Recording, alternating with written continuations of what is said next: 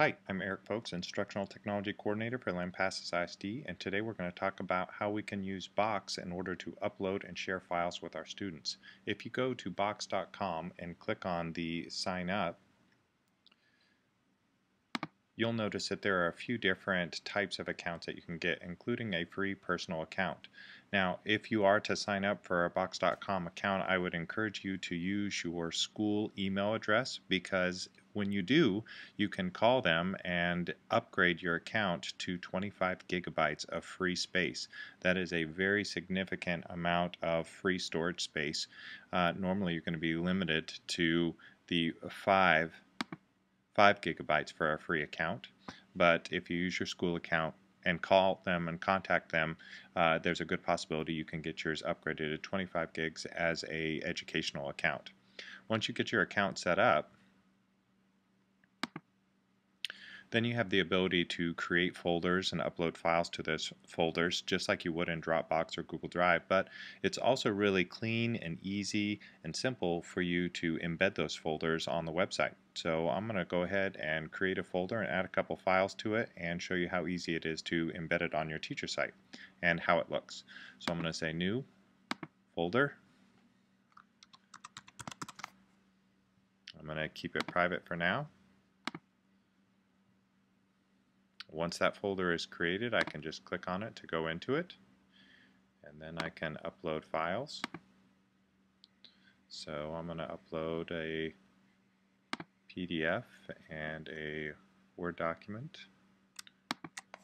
Just hold down Control and you can select multiple files. And then I'm going to upload some images.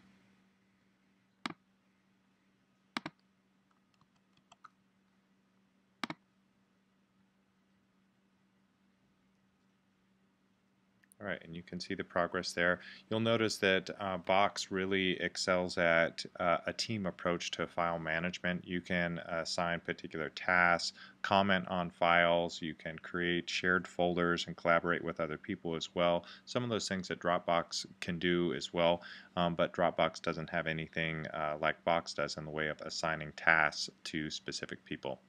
Alright, so it gives me a little update at the top there that these files were added to the folder. So now we've got images, a PDF, and a Word document. So uh, now I'm going to go back out of my folder and head down here and I'm going to share that folder. So you'll notice that we've got a few different options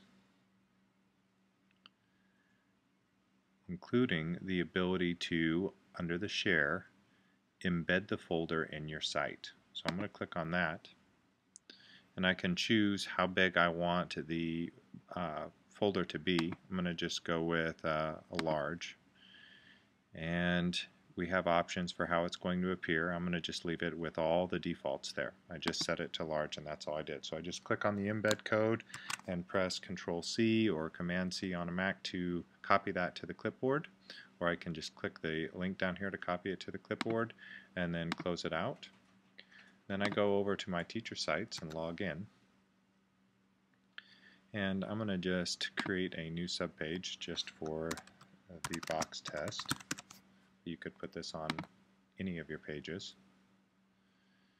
And I'm going to scroll down here and I'm going to click on the HTML. Now once I've clicked on the HTML, all I need to do is right click and paste or control V to paste. And I click back on design and save. And now I'm going to view the page. So in this browser I'm logged into Box. This typically will only happen in the browser that you're actually logged into Box, but I'm going to drag this little cloud over here into place in order to see how it appear. But what's nice about this is now they have the ability to click on any of these files to download them. But Box has some other abilities as well. Let's say I want to take in my test folder and create a new folder within it for the images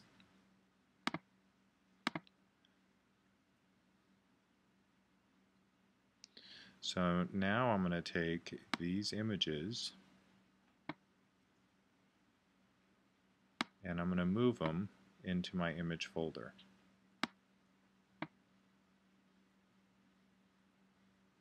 And now I go back to my page where I've got this all embedded and I'm going to refresh it. And again, you shouldn't have to do this if you're not logged into your Box account. And now you can see I've got a subfolder for the images. So I can just click on that folder and now it shows that I'm from all files, I'm in the test folder, and within that I'm in the images folder. So they're given a very easy to follow, very Windows Explorer-like uh, ability to navigate the levels and how deep they are in there. So you can create folders upon folders and organize your files and resources that you want to share with students that way. and if they want to download any of those things, uh, it's pretty easy. They have the ability to preview most of the file types, to download them, um, all sorts of different things. Let's see what it looks like when we are not logged into Box in terms of options, because there were a lot of options there.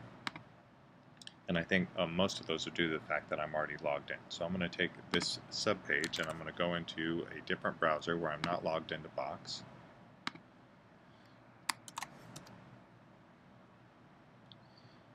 And first thing you'll notice is I didn't have to drag the cloud because I wasn't logged into that particular one. So now let's see the options that we have. Well, when I'm not logged in to Box as the owner of these files, I have the ability to preview it or to download it by default. Same thing with this PDF and with the images. So if I go into my images folder, I can click to download or preview those things as well. Right, so it's pretty straightforward, uh, but I think very valuable. As you can see, it's a very clean and easy way to share resources with your students. If you have any questions or would like to try this out, I'd be more than happy to help you do that. Just contact me or Lori Ramsey, and we'll go from there. Thank you for your time.